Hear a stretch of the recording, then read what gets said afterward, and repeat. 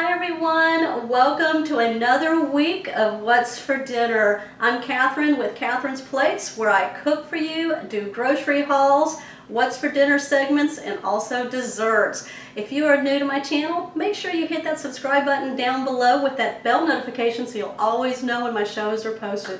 Alright everyone, I hope I inspire you today, so let's get started. Okay everyone, so tonight I am making Monte Cristo sliders for what's for dinner. Now I'm also going to be making some tater tots and waffle fries that I found in my freezer, so those will be a perfect pairing for this to make this a quick and easy meal tonight. So you're going to need a pack of slider rolls.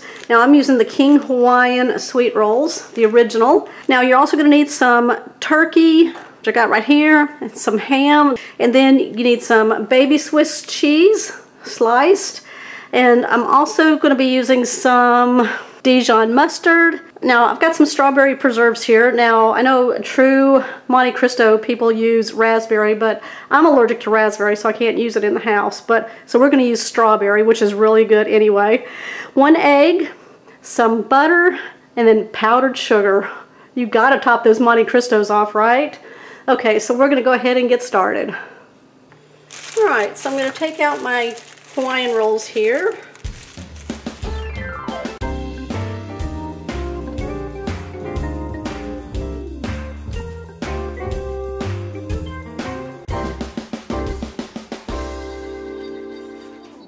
Alright, so what I'm going to do now is just slather some Dijon mustard over the bottom of my rolls and then I'm going to layer some ham, turkey, and Swiss cheese on the tops of the mustard.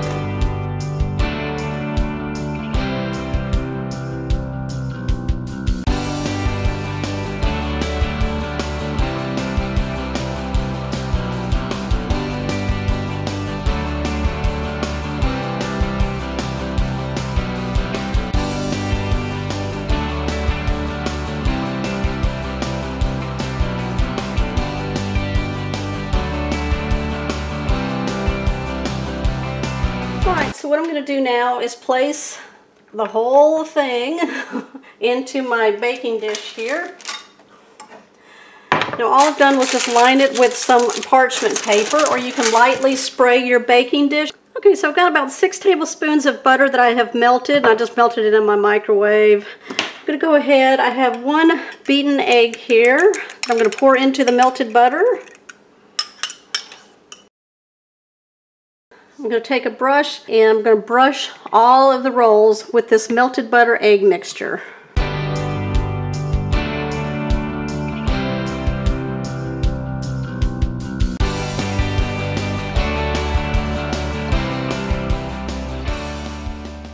Okay, I'm just going to put some tin foil over the top of it.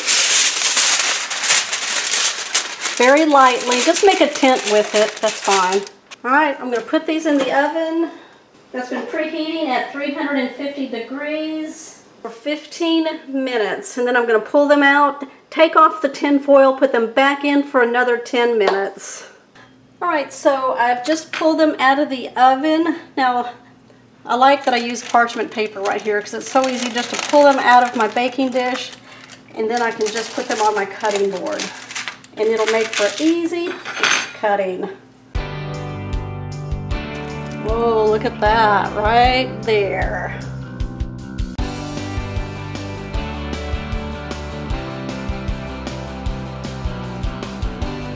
There we go. Let's go plate these up.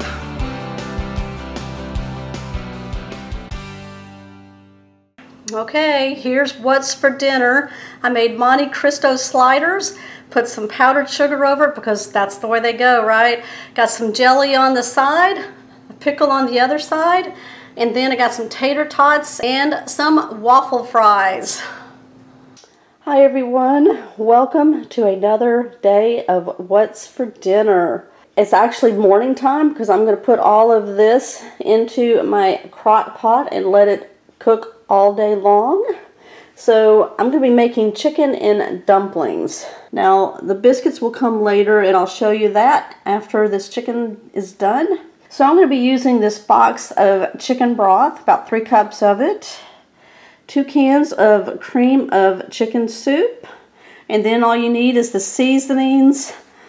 And you're looking for a poultry seasoning, and there's a jar that you could get that's poultry seasoning, or you can just kind of put your own in there. And I'm going to be using parsley, cracked black pepper, got some sage, rosemary, thyme, a little bit of nutmeg, and some marjoram. So all of that's going to go into the crock pot. I'm going to give it a good stir. And then we're going to add the chicken. And I have about two pounds of chicken breast here that I'm going to put into. All right, well, let's get going.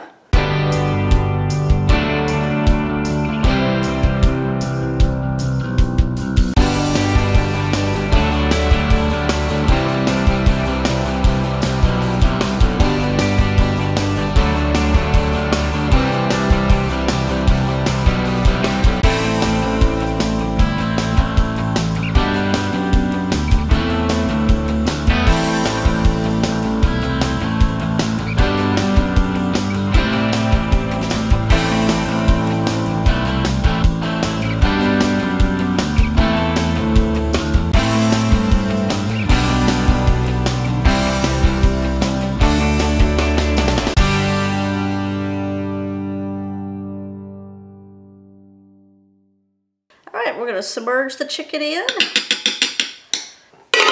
Place our lid on it, and that's it, y'all. I'm gonna put it down on low for about seven to eight hours, and it should be done this afternoon when I'm gonna finish it off with my last step.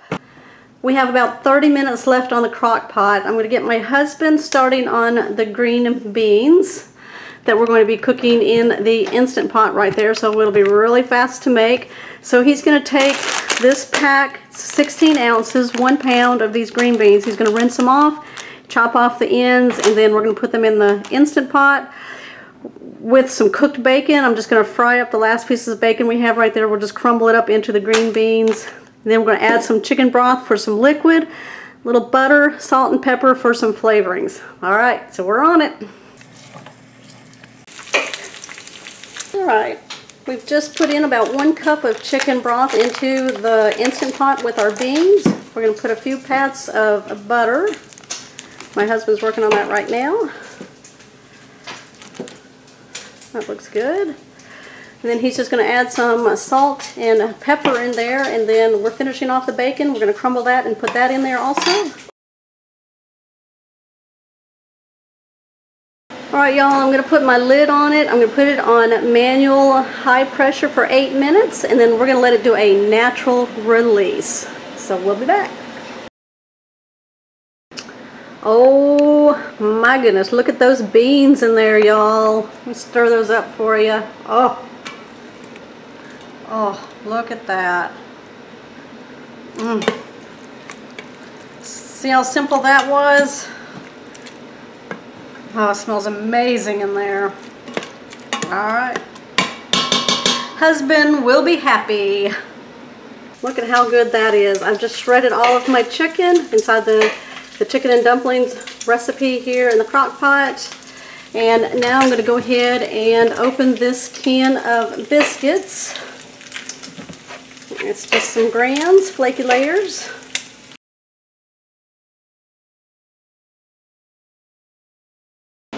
Alright, so I'm going to take one of my biscuit doughs. I'm just going to use my rolling pin here, roll it out a little bit so we can thin it out. I'm just going to take my knife,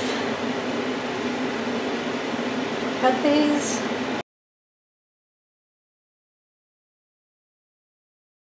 And then I'm just going to place them into my crock pot. Alright, go ahead and use a spoon and kind of stir that up. And kind of push those push those down a little bit. There you go. Alright, so we've stirred it all up. Now we're going to put a lid on it and it's on high right now and we're going to check it in about 30 to 45 minutes and that should finish it up. Okay, look at those dumplings in there. All right, that is my chicken and dumplings in the crock pot. Oh my gosh, look at the chicken. Look at that. Okay, that is what's for dinner. Crock pot, chicken and dumplings. And then Instant Pot, green beans and bacon. All right, welcome to another night of What's for Dinner. Tonight we are having gyros. So these are Trader Joe's gyros. So we're going to be taking these gyro slices. These are pre-cooked and we're going to be heating them up.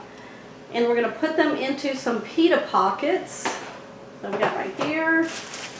And then we're going to load them with tomatoes. You want to hold that up for them? Tomatoes, onions, we got cucumbers, some lettuce, and olives. Which are very good. Yeah, I guess he's eating them over there. And then we've also got a tzatziki sauce that we picked up from Trader Joe's. Now, I have a homemade tzatziki sauce recipe that I'll link down below in the description box if you want to take a look at that one. And then we have a garlic spread. It's It tastes almost like a hummus with a little garlic flavor, so it's really good. Man, that's garlicky. All right, so while I get him started heating up the gyros, then I'm gonna run a little clip here of how I made my Greek pasta salad that we're gonna eat with that. All right, so the first thing we're gonna do is cut up our squash and zucchini. I'm just gonna cut off the ends, cut it in half, and then cut those into quarters. And if they're really big, cut those again. We want these all to roast at the same size, so, and evenly. Put these in here.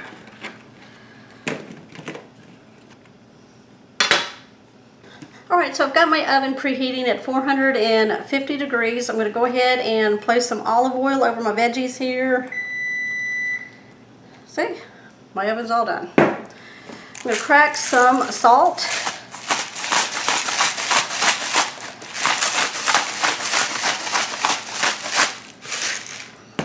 Crack some pepper.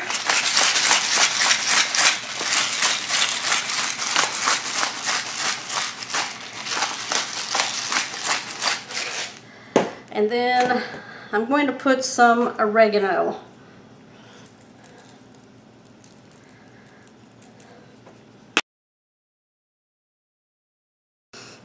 These are going to go in the oven for about 8 minutes to 15 minutes, depending on the softness that you want for your vegetables. All right, so I'm to do the same thing with a red onion. Just to cut off the ends.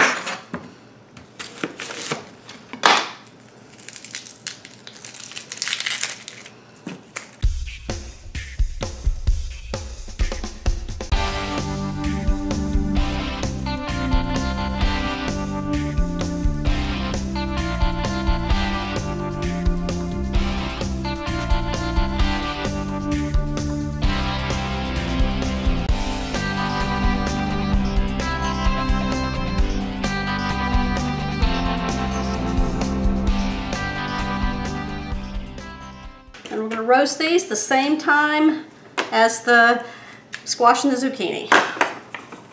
Alright, I'm going to go ahead now and make the dressing for my Greek pasta salad.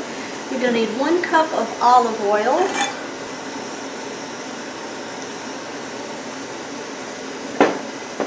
Got some apple cider vinegar, and I'm going to use about a quarter of a cup. About half a tablespoon of minced garlic. Put some oregano, some thyme.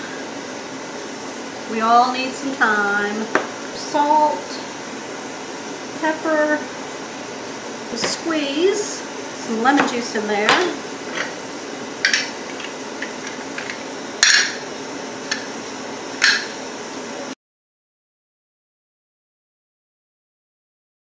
I'm just going to get a whisk and whisk this all together.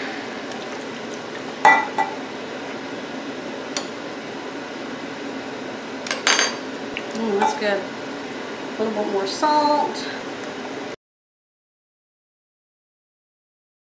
Alright, so so I have my roasted vegetables in my bowl here. I just chopped them up as it came out of the oven. My squash, zucchini, and red onions.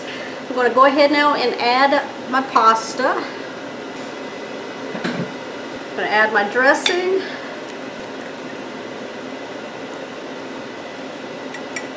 And then we're going to give that a nice stir.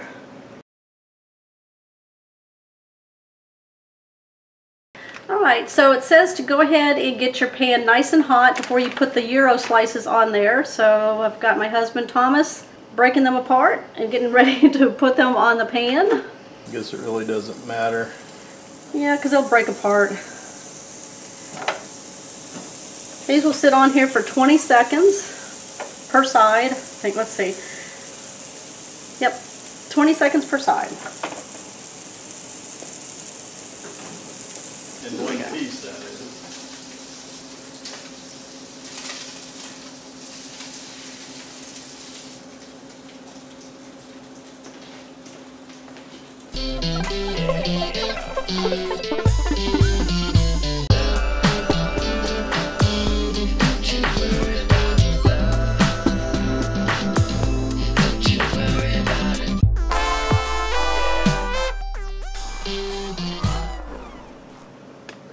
Alright, that is what's for dinner. Now we're going to have him try it.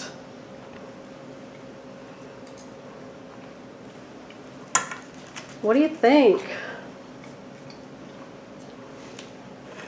It's really good. Was it really good? Mm-hmm. That tzatziki sauce is really good. How about the meat? Is it tender? The meat's tender, well seasoned. Alright, can we give the pasta salad a try? Mm. really good. It's acidic, seasoned well. Veggies are cooked good, soft. Excellent. Alright, there you go. That's what's for dinner. Alright, what's for dinner tonight? This is a chili cheese rice casserole. Now this was in collaboration with the channel Life of a Millwife. And what we did was we took our family favorite recipes and passed it on to each other. I did hers and they did mine. Now this is a chili cheese rice casserole and then they did my sausage stuffed peppers. Alright, so go check out my channel and go check out Life of a Millwife's channel for complete full recipes. Alright, I'm going to run through it really quick here for the chili cheese rice casserole. I'm sauteing celery, peppers, and onions. I'm going to be adding ground beef, browning that up into there. Then I'm going to be adding some seasonings, garlic, curry, salt, and pepper. Then I've got some diced tomatoes going in. Baked beans. Alright, you can use kidney beans or black beans if you'd like. I'm going to be simmering this down for about 10 to 15 minutes. Mmm, looks delicious. Alright, I'm going to be adding one cup of minute rice and let that cook down for about 5 minutes and that will help thicken up this casserole. Which I'm going to be using a 9 by 13 baking dish and where I'm going to ladle in about half of that mixture. Y'all, it smelled amazing with that curry in there. Mmm. Alright, I'm adding about one pound of shredded cheddar cheese on top. This was freshly grated by me. Alright, another, well actually I'm putting the rest of that meat mixture on top of the cheese here. And then I'm putting another one pound of cheddar cheese on the top there. I'm going to bake this in the oven for about 15 to 20 minutes till it's golden brown and bubbly. Look at that, y'all. I let it rest for about 10 minutes before I started digging into this. Mm-mm-mm. That was so good. All right, y'all, I'm going to show you what they use as a uh, utensil to eat this with. Tostadas. There you go. Doesn't that look delicious? All right, for my full video, go check it out on my channel. Chili cheese rice casserole, go check out theirs. Also using the sausage stuffed peppers, Life of a Millwife. Life Life of a mill wife. All right, y'all, that's what's for dinner.